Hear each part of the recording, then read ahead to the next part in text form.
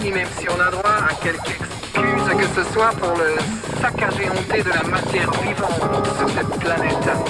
On ne sait plus où se mettre, nous autres de la France. It's quite extraordinary. A girl from the Czech Republic, if I'm not wrong, Yes. um, being a top model. How, how did it happen in the beginning? Uh, well, it was um, from this little tiny town, and one day I went to Prague with all my family to visit the capital, and I met this girl, and she goes, Eva, Eva, come with me. There's some French agency called Madison, they're making a beauty contest, come with me. And I was 16, I was really, really, really shy, and I said, no, no, no, not gonna go. They didn't invite me. She's like, come on, come on. So I went with her, and I won the contest, and I came to Paris.